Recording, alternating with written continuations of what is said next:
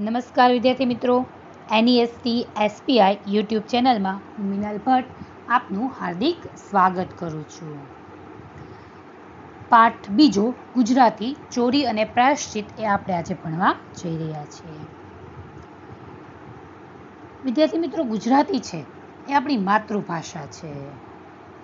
ગુજરાતીના પાઠો છે કે કાવ્યો છે, એ આપણને ક્યાંય બીજે પરીક્ષા સિવાય પૂછવામાં નથી આવતા. પરંતુ એમાંથી જે આપણને સાર મળે છે, એમાંથી જે ઉપયોગી વસ્તુઓ છે, જે આપણના જીવનની અંદર ખૂબ જ ઉપયોગી બનતી હોય છે. અહીંયા પણ આ પાઠની અંદર ગાંધીજી દ્વારા એક સુંદર સાર સમજાવતો છે. એ આ પાઠ છે. એ આપણને અહીંયા આપેલો છે. પાઠના લેખક પરિચય પહેલાં આપણે જોઈએ અને ત્યાર પછી આપણે પાઠ ઉપર જઈએ. પાઠના લેખક છે ગાંધીજી. જન્મ બે દસ અઢારસો ઓગણસિત્તેર. અવસાન ત્રીસ એક ઓગણીસો અડતાલીસ. ઘણા વિશેષ નામ છે. ગાંધીજી વિશે તો આપણે આમ તો લખીએ એટલું ઓછું થાય. અને આપણા રાષ્ટ્રપિતા તરીકે આપણે એને ઓળખતા હતા. બાપુ, રાષ્ટ્રપિતા, મહાત્મા વગેરે વિશેષ નામથી પણ એ ઓળખાતા હતા. એનું પૂરું નામ છે મોહનદાસ કરમચંદ ગાંધી. જન્મ પોરબંદરમાં થયો હતો. એમના પિતા કરમચંદ ગાંધી એ પોરબંદર રાજ્યના દિવાન હતા. માતાનું નામ પુતળીબાઈ હતું. પોરબંદર, રાજકોટ અને ઇંગ્લેન્ડમાં એમણે અભ્યાસ કર્યો હતો. તેમણે ઇંગ્લેન્ડમાંથી કાયદાની ઉપાધિ મેળવીને, ઉપાધિ મતલબ એને પદવી પ્રાપ્ત કરી. એ પદવી મેળવી દક્ષિણ આફ્રિકામાં હિન્દીઓના હક માટે અને ભારતમાં આઝાદીનું નેતૃત્વ પણ એમણે કર્યું હતું. તેમની આત્મકથા સત્યના પ્રયોગોના અનેક ભાષામાં અનુવાદ થયેલો જોવા મળે છે. દક્ષિણ આફ્રિકાના સત્યાગ્રહનો ઇતિહાસ, આરોગ્યની ચાવી, અનાસક્તિ યોગ, હિન્દ સ્વરાજ, સર્વોદય, મંગળ પ્રભાત તેમના નોંધપાત્ર પુસ્તકો છે. હજારો પત્ર લખ્યા છે જે ગાંધીજીના અક્ષરદ દેશ ગ્રંથ શ્રેણીમાં છે. એમના લખાણો સંગ્રહાયેલા જોવા મળે છે. અહીંયા આગળ. ગાંધીજીનો જે પ્રસંગ આપવામાં આવેલો છે, એની જે નિર્ભીકતા છે, એમનું જે પ્રાયશ્ચિત છે, એ કરવાનું એક પ્રામાણિકતાના નમૂના રૂપ છે. એ બાળકો, ભૂલ તો દરેકથી થતી હોય છે. દરેક વ્યક્તિ, કોઈ વ્યક્તિ છે, ભૂલ વગર બનતો નથી. બરાબર? ભૂલ કરવાથી જે શીખતો હોય છે એના જીવનની અંદર, જે કામ ન કરે, તે ભૂલ ન કરે. જે કામ કરે છે, જે કાર્ય કરે છે, જે મહેનત કરે છે, એનાથી ભૂલ તો થવાની જ છે. અહીંયા આગળ પણ ગાંધીજીના જીવનમાં બાળપણમાં અજાણતાની જે ભૂલ થયેલી છે, એને આધારિત અહીંયા આગળ બે પ્રસંગો આપવામાં આવેલા છે. એક તો એના પોતાના માંસાહારી ભાઈ છે, એનું દેવું થયું હોય, એના કડામાંથી સોનું ચોરવાની વાત આલેખી છે. એ કર્યા બાદ એને ગાંધીજીનો પશ્ચાતાપ, પિતાજી આગળ ચિઠ્ઠી લખી નિખાલસ એની કબૂલાત, ક્રોધી સ્વભાવના પિતા એ સજા કરવાને બદલે અશ્રુ સારે છે. આમ ગાંધીજીના જીવનમાં પહેલીવાર એ સત્યાચરણ અને અહિંસાનો પાઠ અહીં એને શીખવા મળે છે. આમ એક પ્રાયશ્ચિત કેટલું મોટું પરિણામ અનુભવાય, એની વિશેનું લાવે છે અને અનુભવ થાય છે એની વિશેની વાત કરેલી છે. આમ ગાંધીજી એકવાર કરેલી ભૂલ છે, ફરી ક્યારેય જીવનમાં નહોતા કરતા. એને કારણે જે મહાત્મા કહેવાયા હતા, એ વાત અહીંયા આગળ રજૂ કરેલી છે. હું તમને વિદ્યાર્થી મિત્રો છે, એના અમુક ફોટાઓ દ્વારા છે, એ આપણે જોઈએ. તો આ ગાંધીજીનો બાળપણનો ફોટો તમે જોઈ શકશો. ગાંધીજીના બીજા ફોટાઓ દ્વારા. ગાંધીજીએ જે જીવનની અંદર, મતલબ એને આપણે મહાત્મા કહેતા હતા. બરાબર ને તો એ મહાત્મા એના જીવનમાં એને જે ભૂલો કરી હતી, એ ભૂલો ફરી ક્યારેય પણ એણે એના જીવનની અંદર છે, એ કરેલી જોવા મળતી નથી. બને એકવાર ભૂલ થાય છે, પછી ફરી એને ક્યારેય દોહરાવીએ નહીં. તો જ આપણે ગાંધીજીની જેમ આપણા જીવનની અંદર સારા કાર્યો છે, કરી શકીએ છીએ. તો સૌપ્રથમ ગાંધીજીનો જે ટોપિક વાઇઝ છે, એનો લેખક પરિચય આપણે સૌપ્રથમ જોઈએ. જેથી સરળતાથી લેખક પરિચય યાદ રાખી શકાય અને પરીક્ષામાં પૂછાય તો લખી પણ શકાય. પછી આપણે પાઠ ઉપર જઈએ. પાઠનું નામ છે, ચોરી અને પ્રાયશ્ચિત લેખકનું નામ છે ગાંધીજી. લેખકનો જન્મ, ગાંધીજીનો જન્મ બે દસ અઢારસો ને ઓગણસિત્તેર. લગ્ન અવસાન ત્રીસ એક ઓગણીસો ને અડતાલીસ. લેખકનું વિશેષ નામ છે બાપુ, રાષ્ટ્રપિતા અને મહાત્મા. લેખકનું પૂરું નામ છે મોહનદાસ કરમચંદ ગાંધી. એનું જન્મસ્થળ છે પોરબંદર. લેખકના પિતાનું નામ છે કરમચંદ ગાંધી. લેખકની માતાનું નામ છે પુતળીબાઈ. લેખકનું અભ્યાસ સ્થળ છે પોરબંદર, રાજકોટ અને ઇંગ્લેન્ડમાં એમણે અભ્યાસ કર્યો હતો. લેખકનો અભ્યાસ છે ઇંગ્લેન્ડમાં કાયદાની ઉપાધિ પ્રાપ્ત કરી હતી. લેખકના કાર્યો છે દક્ષિણ આફ્રિકામાં હિન્દુઓના હક માટે અને ભારતમાં આઝાદીનું નેતૃત્વ એણે કર્યું હતું. વિશેષતા. તેમની આત્મકથા સત્યના પ્રયોગોનું અનેક ભાષામાં છે. એ અનુવાદ થયેલો જોઈ શકાય છે. પુસ્તકો. દક્ષિણ આફ્રિકાના સત્યાગ્રહોનો ઇતિહાસ, આરોગ્યની ચાવી, અનાસક્તિ યોગ, હિન્દ સ્વરાજ, સર્વોદય, મંગળ પ્રભાત, આ ઉપરાંત બીજા ઘણા વિશેષ પુસ્તકો છે. એ ગાંધીજી એના જીવનની અંદર લખેલા છે. સાહિત્ય પ્રકાર છે આત્મકથા ખંડ મતલબ સત્યના પ્રયોગો નામની જેમની આત્મકથા છે, એમાંથી એક અંશ છે. ખંડ મતલબ અંશ છે. એ અંશ અહીં લેવામાં આવેલો છે. અને સંદર્ભ ગ્રંથ છે એ સત્યના પ્રયોગો. અહીં આગળ છે, પાઠ શરૂ કરતાં પહેલાં હું તમને એની એક નાનકડી સ્ટોરી છે સમજાવી દઉં. એને આધારિત આપણે છે પાઠ ભણીએ. જેથી પાઠ પણ સરળતાથી ભણી શકાય અને ઝડપથી યાદ પણ રહી શકે. અહીં આગળ ગાંધીજીના જીવનની અંદર છે ને, બાળપણમાં આપણે વિચારી પણ ન શકીએ. એવી એવી ભૂલો છે ગાંધીજીએ કરેલી છે. ને એક ભૂલ, એ આપણા પાઠની અંદર જે આપેલી છે, બે ભૂલોની વાત કરેલી છે ને, બે ભૂલોનો પ્રાયશ્ચિત છે, એ પ્રાયશ્ચિત વિશેની પણ અહીં આગળ વાત થયેલી છે. તેમાંની એક ભૂલ છે ને, એ છે કે ગાંધીજીને એક વખત છે, એ બીડી પીવાનો શોખ જાગ્યો હતો. એવો બીડી પીવાનો શોખ જાગ્યો કે એને એવું લાગતું હતું કે બીડી પીવામાં કદાચ એવું હતું કે બીડી પીવામાં કંઈ આનંદ છે કે નહીં, ખબર નથી. પરંતુ એની ગંધમાં છે, એ કંઈક મજા છે. એવું પણ નહોતું. પરંતુ એ બીડી પીવામાં જે ધુમાડો કાઢવાની મજા આવતી હતી ને, એને કારણે એને બીડી પીવાનો શોખ જાગ્યો. અને બીડી પીવાના શોખને કારણે એણે ધીમે ધીમે છે, એ ચોરી કરવાની શરૂઆત કરી હતી. અને એ ચોરીમાંથી ધીમે ધીમે નાની ચોરી, મોટી ચોરી અને સ્વાભાવિક છે કે એક વખત ખરાબ ગુણ આપણે આપણી અંદર પ્રવેશ કરે એટલે બીજા ખરાબ ગુણનો પ્રવેશ દ્વાર તો શરૂ જ રહેવાનો છે, બરાબર ને? પ્રવેશ દ્વાર એકવાર ખુલ્લું થઈ જાય, પછી એમાં કોઈ રોકી જ નથી શકતું. અને એકવાર એક ખરાબ ભાવ આવ્યો એને બીડી પીવાનો, એની સાથે સાથે એને ચોરી કરવાનો ભાવ આવે છે. ચોરી કરવાના ભાવની સાથે સાથે એના જીવનની અંદર એ આત્મહત્યા કરવાનો પણ, આપઘાત કરવાનો પણ વિચાર આવે છે. અને એની માટે એને પ્રયાસ પણ કરી બેસે છે. અને આ ઘટના દ્વારા, આ ઘટના આખી એના જીવનમાં જે ઘટે છે બાળપણની અંદર, બરાબર ને? આવો આપણે વિશ્વાસ કરી શકીએ કે જે આપણા મહાત્મા હતા, રાષ્ટ્રપિતા હતા, એનાથી પણ આવી ભૂલો થઈ હતી. એ ઘટના દ્વારા, એ જીવનની અંદર જે સાર મેળવે છે, બરાબર ને? અને પછી ક્યારે પણ એ જીવનની અંદર છે. એ આપઘાત કરવાનો વિચાર કરતો નથી, ચોરી કરવાનો વિચાર કરતા નથી, એ ક્યારે પણ એ બીડી પીવાનો શોખ એના જીવનમાં એ ફરી જાગતો નથી.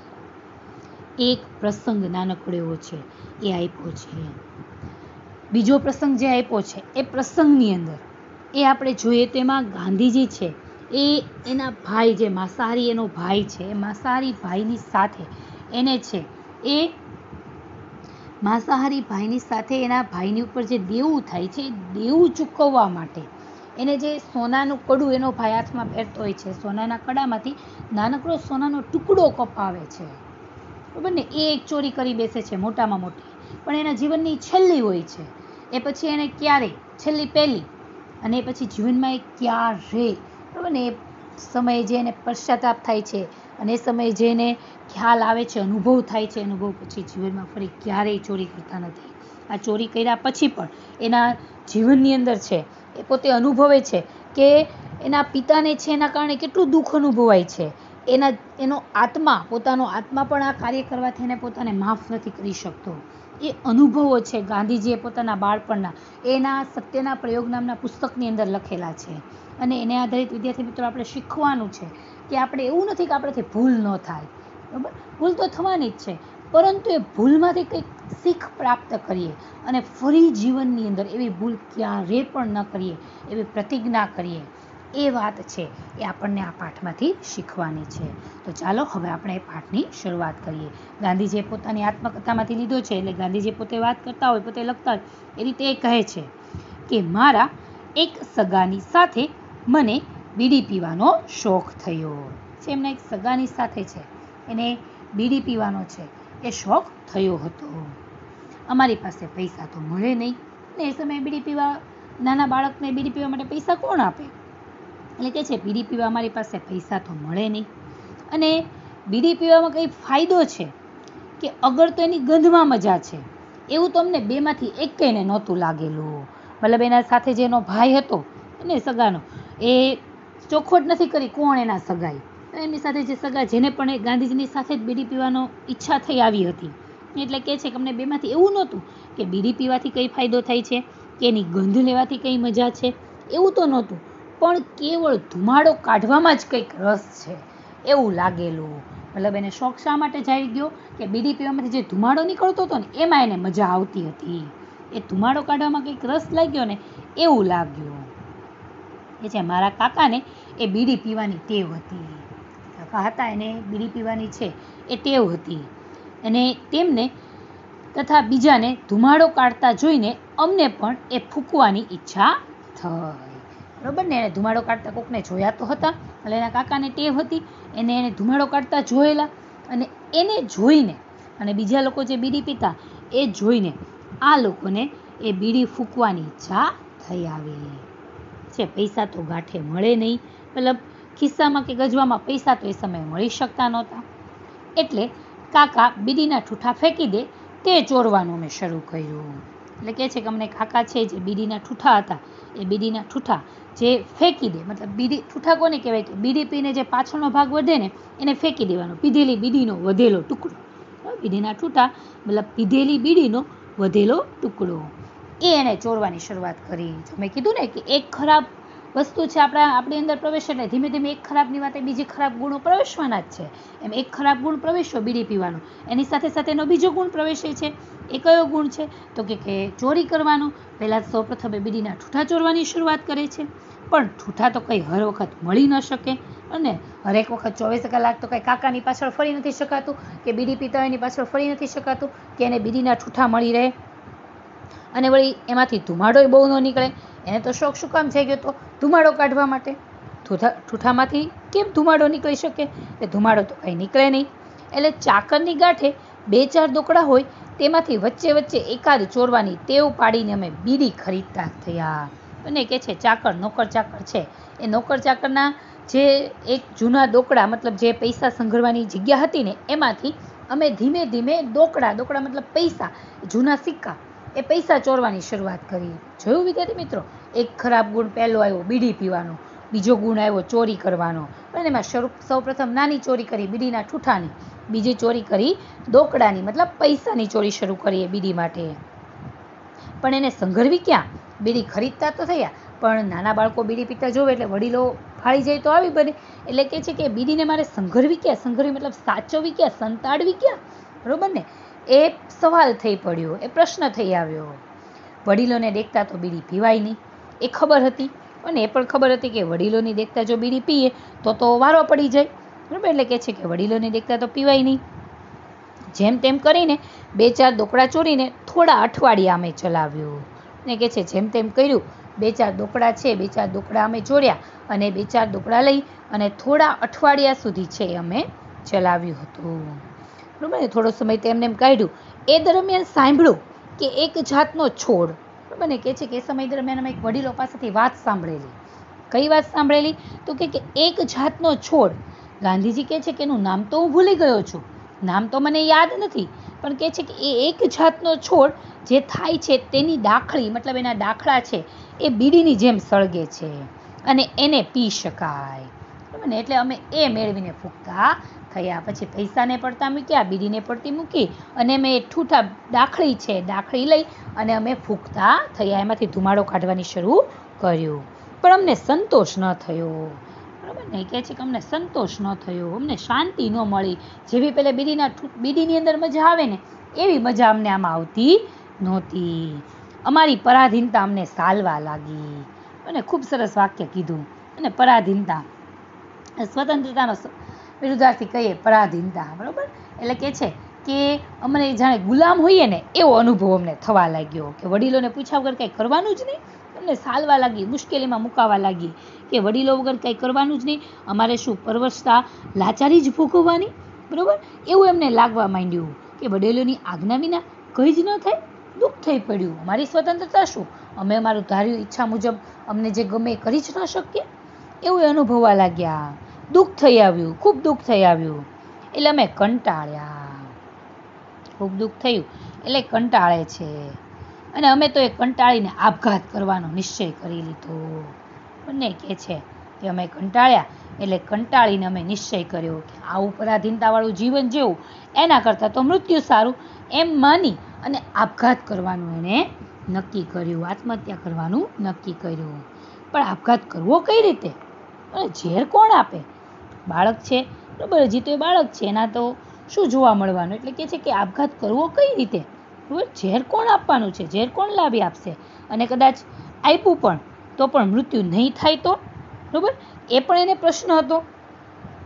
વળી એણે વડીલો પાસેથી બીજી વાત સાંભળેલી કે ધતુરાના ડોડવાના બી, મતલબ ધતુરાનો વિદ્યાર્થી મિત્રો, જે છોડ આવે ને, એ ધતુરાના છોડની અંદર જે ફૂલ થાય, એના બી હોય છે. એ બી છે, એ ખાઈએ ને તો મૃત્યુ નીપજે. બરાબર ને? એવું સાંભળ્યું વડીલો પાસેથી કે ધતુરાના ડોડવાના બી ખાઈ જઈએ ને તો એ ઝેરી ગણાય અને ખાય તો મૃત્યુ થાય. એટલે આત્મહત્યા કરવાનો વિચાર તો હતો જ. અમે વગડામાં જઈ તે મેળવી આવ્યા. બરાબર ને? એવું જંગલમાં ગયા, વગડામાં ગયા. અને વગડામાં જઈ એ ધતુરાના બી જે હતા, એ ધતુરાના બી છે અમે મેળવ્યા. સંધ્યાનો સમય શોધ્યો. સાંજનો સમય શોધ્યો. નક્કી કર્યો કેદારજીના મંદિરે દીપમાળામાં ઘી ચડાવ્યું, દર્શન કર્યા, એકાંત શોધી અને ઝેર ખાવાની પણ હિંમત ચાલી નહીં. બરાબર ને? પહેલાં નક્કી કર્યું. એટલે જંગલમાં ગયા, વગડામાં ગયા, બી લઈ આવ્યા. બી લઈ આવી અને પછી છે સંધ્યાનો, સાંજનો સમય ગોત્યો.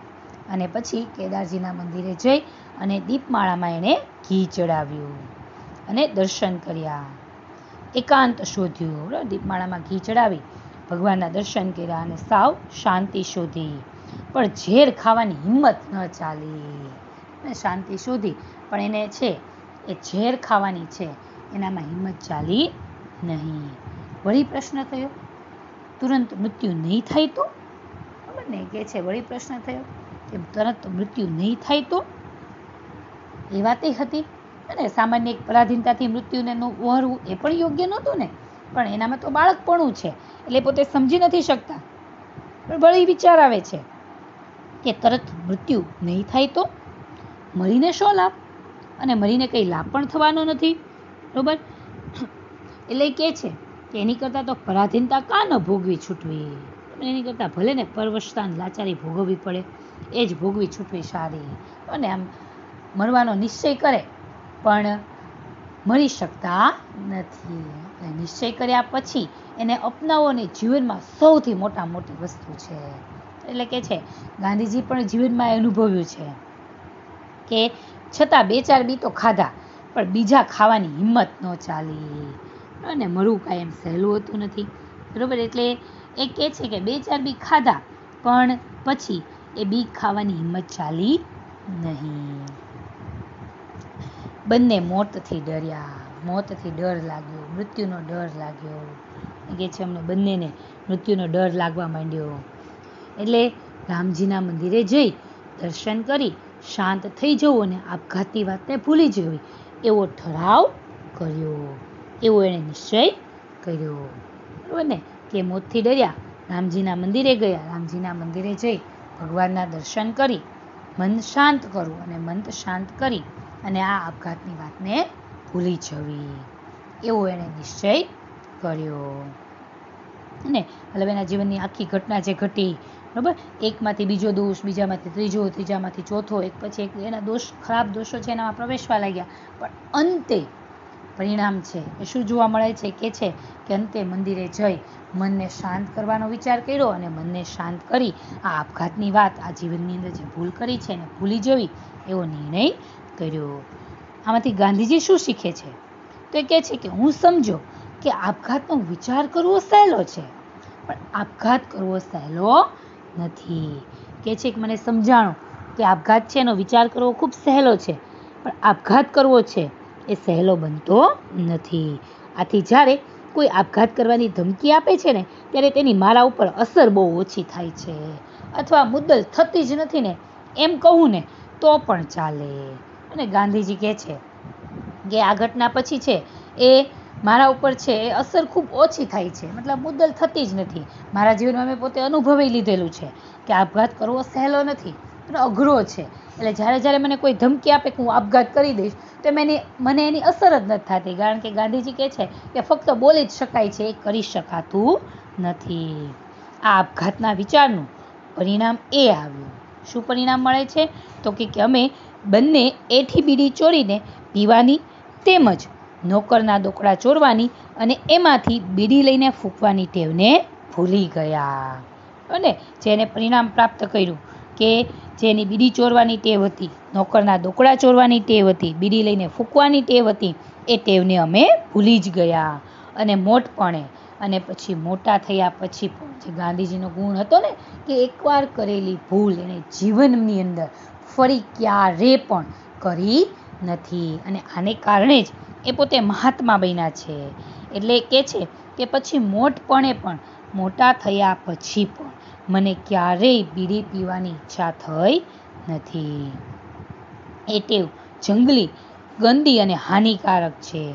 એમ સદાય મેં માન્યું છે કે છે ટેવ છે જંગલી ખરાબ છે, ગંદી છે, હાનિકારક છે. એ મેં માન્યું છે અને હકીકત પણ છે.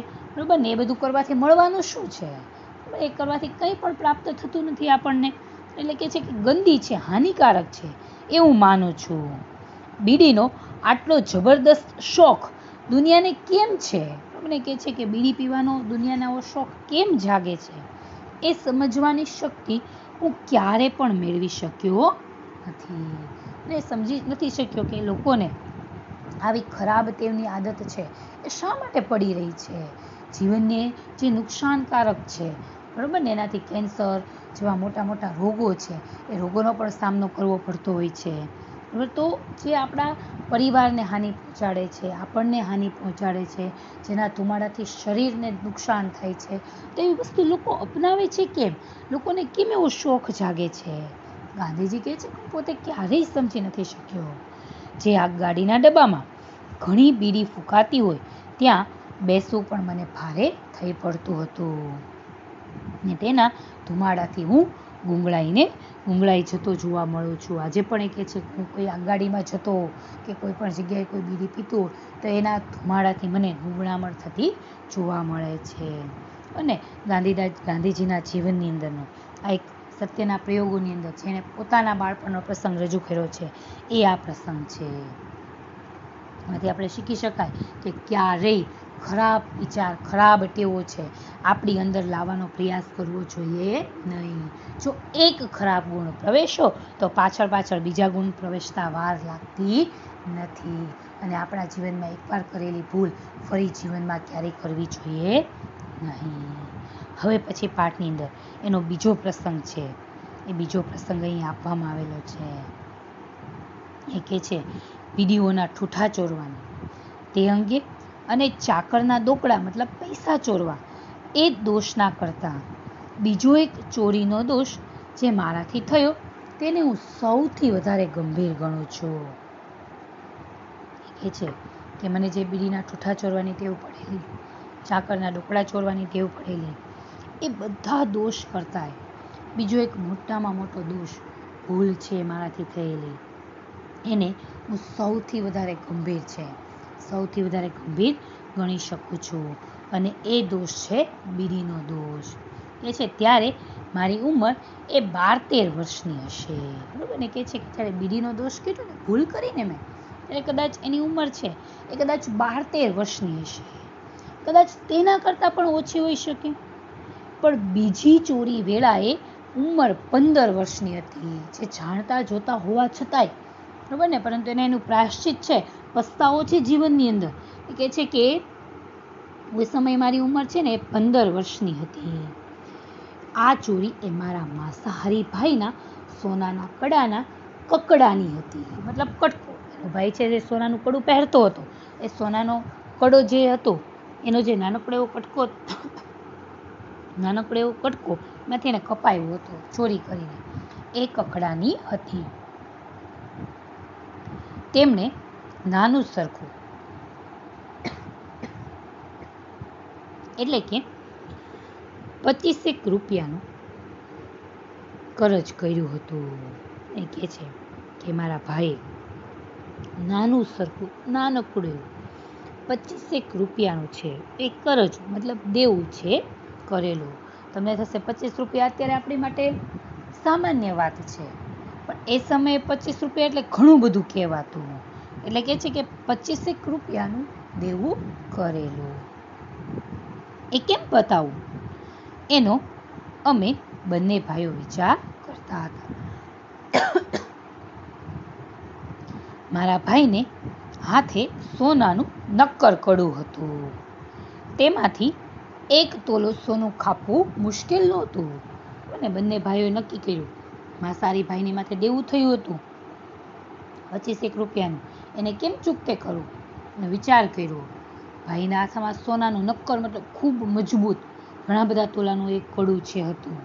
એમાંથી કદાચ એકાદ તોલું સોનું કપાઈ જાય. તો મુશ્કેલી નહોતી.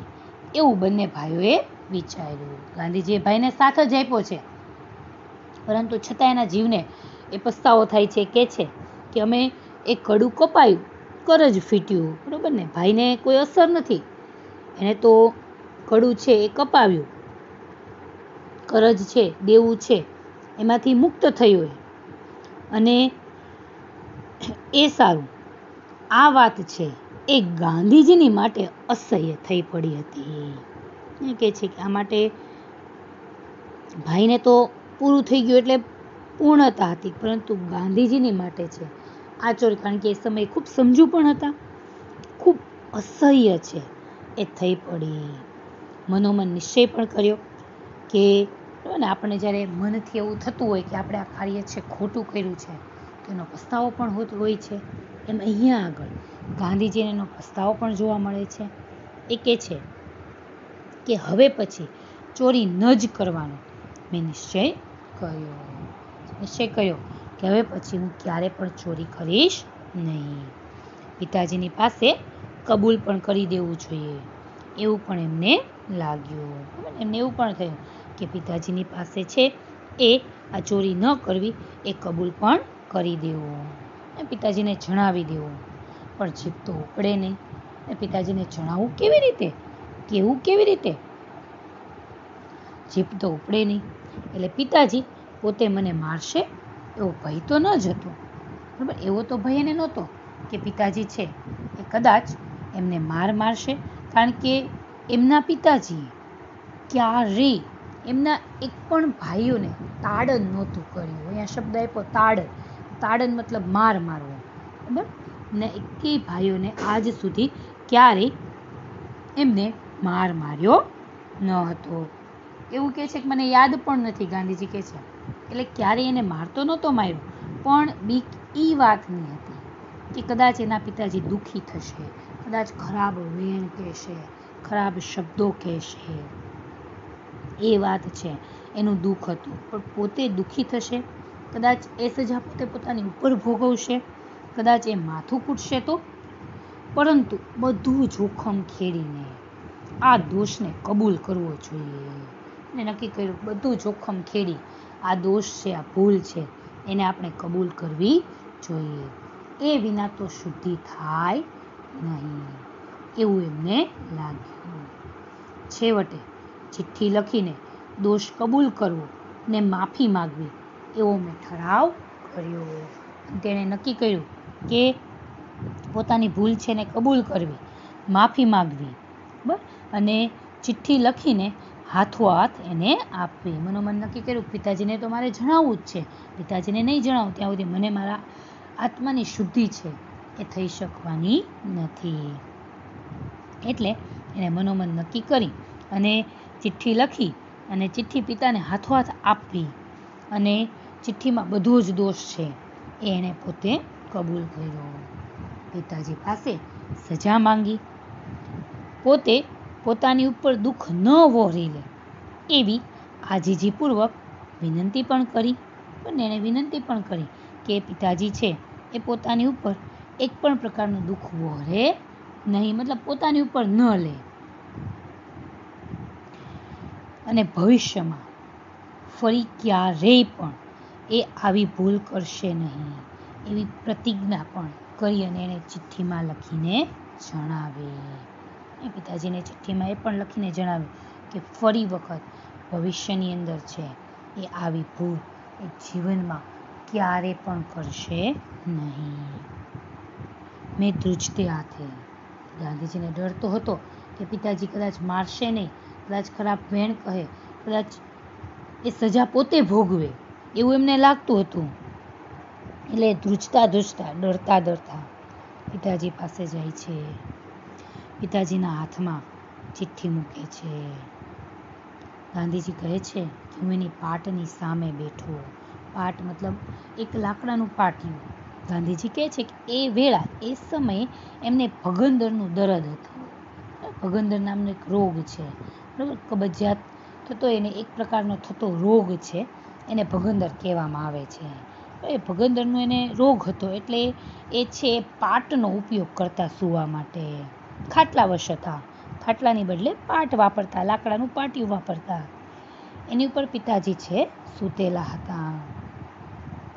એટલે એ પાટિયા ઉપર છે, સૂતેલા પિતાજી હતા, ત્યાં જઈ ધ્રુજતા ધ્રુજતા ગાંધીજીએ ચિઠ્ઠી આપી. શું લખ્યું હતું ગાંધીજીએ? તો કે પોતે કરેલી ભૂલ. આ ભૂલની સજા ગાંધીજીના પિતાજી પોતે ન ભોગવે એ માટે વિનંતી કરી હતી અને સાથે સાથે પ્રતિજ્ઞા પણ કરીને લખી હતી. કે હું ક્યારે પણ આવી ભૂલ જીવનમાં ફરી કરીશ નહીં. ગાંધીજીના પિતાજીએ ચિઠ્ઠી વાંચી.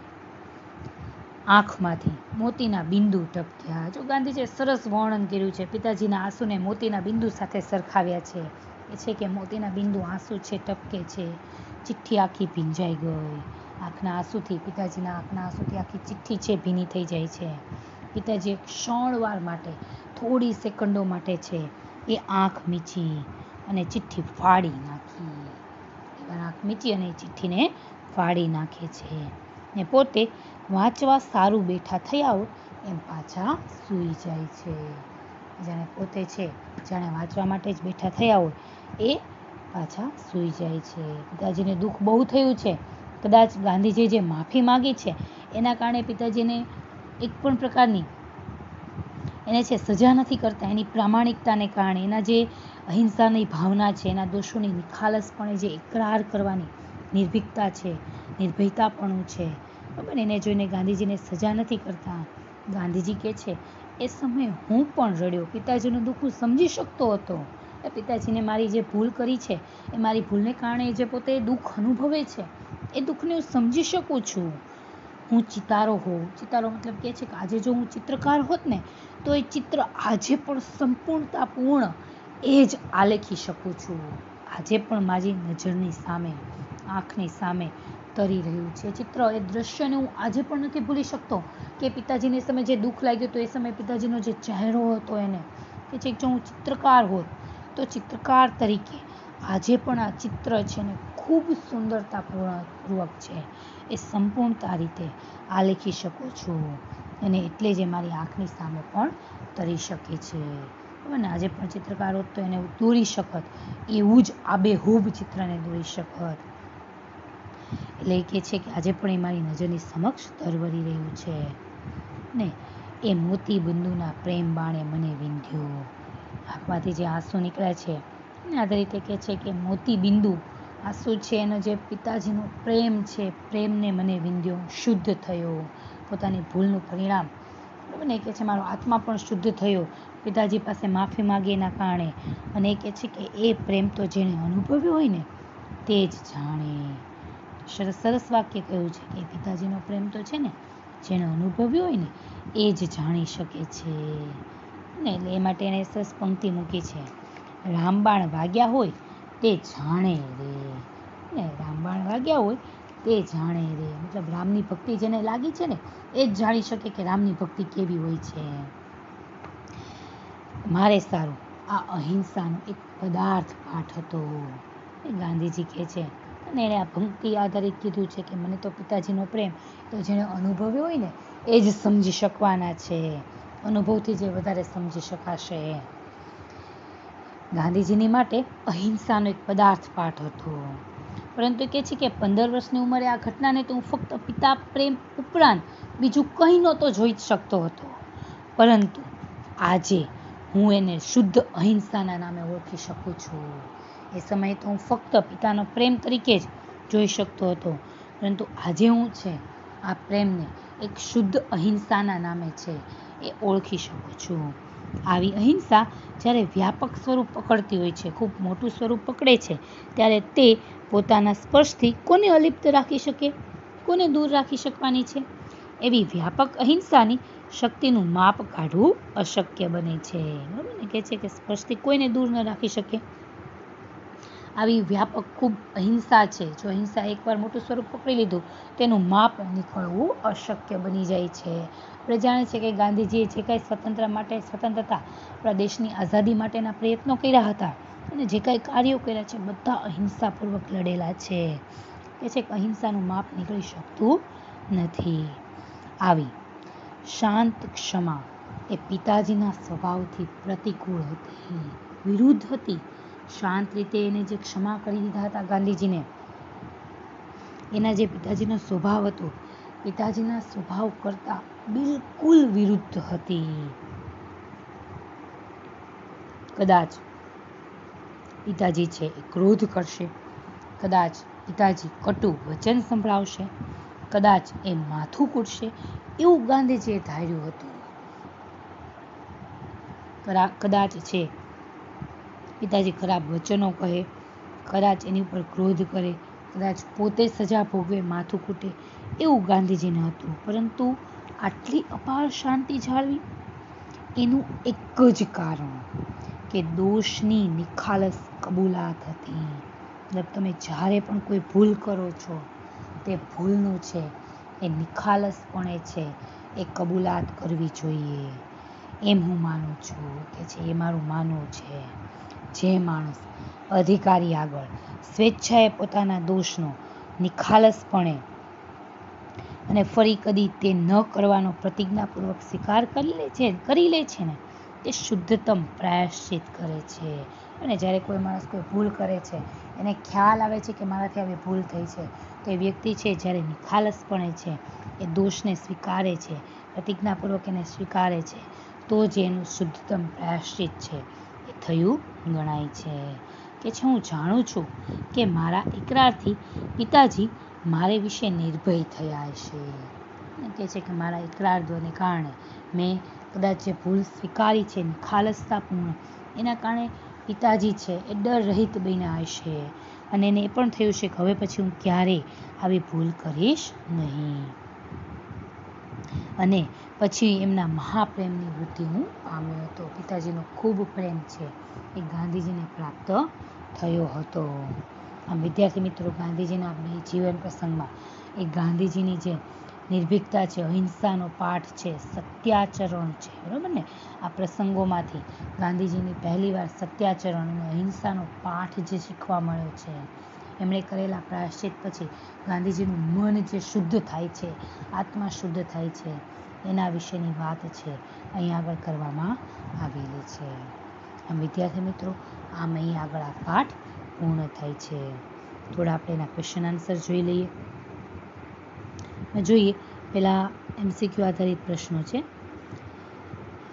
ચોરીની ભૂલ સ્વીકારવામાં ગાંધીજીની જીભ ઉપડતી નથી. કારણ કે બરાબર ને એનો જવાબ આવશે કે પિતાજી દુઃખી થશે, કદાચ માથું ખૂટશે એવો એમને ભય લાગતો હતો. બીજો પ્રશ્ન છે, સોનાના કડામાંથી એક તોલો સોનું કાપીને વેચવાની ઘટનાની ગાંધીજી ઉપર શી અસર થઈ હતી? તો કે કે ચોરી કરવાની વાત ગાંધીજીની માટે અસહ્ય થઈ પડી. ખોટું કાર્ય કર્યાનો અપરાધ ભાવમાંથી બહાર આવવા શું કરવું જોઈએ? એટલે કે જોખમ ખેડીને પણ, ગમે તે મુશ્કેલી આવે, મુશ્કેલીને પાર કરીને પણ પોતાની દોષ છે, પોતાની ભૂલ છે, એ ભૂલને કબૂલ કરવી જોઈએ. ચોથું છે, બીડી પીવાની કુટેવમાંથી, બીજી કઈ કુટેવ આવી હતી? બીડી પીવાની કુટેવમાંથી નોકરના પૈસા ચોરવાની, બરોબર? એ કુટેવ છે, એ આવી ક્વેશ્ચન આન્સર આપણે જોઈએ. ગાંધીજીએ ચિઠ્ઠીમાં ગાંધીજીએ ચિઠ્ઠીમાં શું લખ્યું હતું? જવાબ આવશે, ગાંધીજીના માંસાહારી ભાઈને દેવું થયું હતું. આથી ભાઈના સોનાના કડામાંથી નાનો ટુકડો કાપી દેવું ચૂકવવામાં ગાંધીજીએ ભાઈનો સાથ આપ્યો. અને આ ચોરી કર્યા પછી ગાંધીજીને પશ્ચાતાપ થયો. અને પિતાજીને ચિઠ્ઠીમાં આ ચોરી કર્યાની તેમની નિખાલસ કબૂલાત કરી હતી. પછીનો પ્રશ્ન છે કે પાઠના આધારે ગાંધીજીના ગુણોનું વર્ણન કરો. તો એની અંદર, વિદ્યાર્થી મિત્રો, તમે લખી શકો. ચોરી અને પ્રાયશ્ચિત પાઠમાં ગાંધીજીનો સૌથી મોટો ગુણ એમની નિર્ભીકતા અને પ્રામાણિકતા છે. એમને બીડી પીવાની તડપ લાગી. એને કારણે એને નોકરના ખિસ્સામાંથી પૈસા ચોરવાની ટેવ પડી. એ બાબતને તેમણે નિખાલસપણે એકરાર કર્યો કે વ્યસન છૂટતું નહોતું અને વડીલોની આજ્ઞા વગર કાંઈ થઈ શકે એમ નહોતું. એના કારણે એમને આપઘાત કરવાની છે એ ઈચ્છા થઈ, પણ આપઘાત કરવો એમની માટે સહેલો નથી. એની પ્રતીતિ એને થાય છે. એ વિચારને પડતો મૂકી તેમજ ભાઈનું કરજ ચૂકવવા એમના ભાઈના સોનાના કડામાંથી એક નાનકડો ટુકડો કાપી કરજ ચૂકવવા ભાઈનો સાથ આપ્યો. આવી અનેક બાબતો એમના મનમાં ખટકતી હતી. એ માટે જોખમ ખેડીને પણ પિતાજી પાસે દોષને કબૂલ કરવાનો ગાંધીજીએ આ નિર્ણય લીધો હતો. એ એમની પ્રાયશ્ચિત કરવાની ઈચ્છા દર્શાવે છે. આ પ્રસંગો એ ગાંધીજીનો સત્ય માટેનો આગ્રહ, અહિંસાની ભાવના અને દોષોનો નિખાલસપણે એકરાર કરવાની નિર્ભીકતા અને પ્રામાણિકતા સૂચવે છે. ગાંધીજીના અંતરમાં થતા મનોમંથનનું વર્ણન કરો. એમાં આપણે લખી શકીએ કે ગાંધીજીને સૌપ્રથમ બીડી પીવાની તીવ્ર ઈચ્છા થઈ. એ પૂરી ન થતાં ચોરી કરી અને અંતે આપઘાત કરવાનું મન થયું. આ ત્રણ ઘટના બન્યા પછી એમના અંતરમાં વિચારોનું મંથન શરૂ થયું. આપઘાત કરવા માટે ઝેર ઝેર જોઈએ, ઝેર કોણ લાવી આપે, ઝેર ખાઈએ અને મૃત્યુ ન થાય તો મરીને શો લાભ? આવા પ્રશ્નો એના મનને ઘેરી વળે છે. અંતે રામજીના મંદિરે જઈને દર્શન કરીને મનને શાંત કરવું અને આપઘાતના વિચારને ભૂલી જવું. એવો નિર્ણય પણ ગાંધીજી આવે છે. આવી જે ઘટના એ ભાઈનું કરજ ચૂકવવાની બની. એ માટે ભાઈના સોનાના કડામાંથી નાનકડો ટુકડો કાપી કરજ ચૂકવવાની એવો એ ભાઈને સાથ આપ્યો. એ વાત પણ એમને ખટકી. આમ પિતાજી પાસે કબૂલ કરવા છતાં પિતાજી દુઃખી થશે. કદાચ માથું કૂટશે તો એવા વિચારો એમના મનમાં ઉઠ્યા હતા. પણ અંતે તેમણે પિતાજી પાસે દોષ કબૂલ કર્યા વિના શુદ્ધિ નહીં થાય એવો નિર્ણય કર્યો. આ બંને નિર્ણય પાછળ ગાંધીજીની સત્યાચરણની ભાવના અને પોતાના દોષના નિખાલસપણે ઇકરાર કરવાની વૃત્તિ એ કારણભૂત બને છે. વિદ્યાર્થી મિત્રો, અહીં આગળ આ પાઠ પૂર્ણ થાય છે. આભાર. અસ્તુ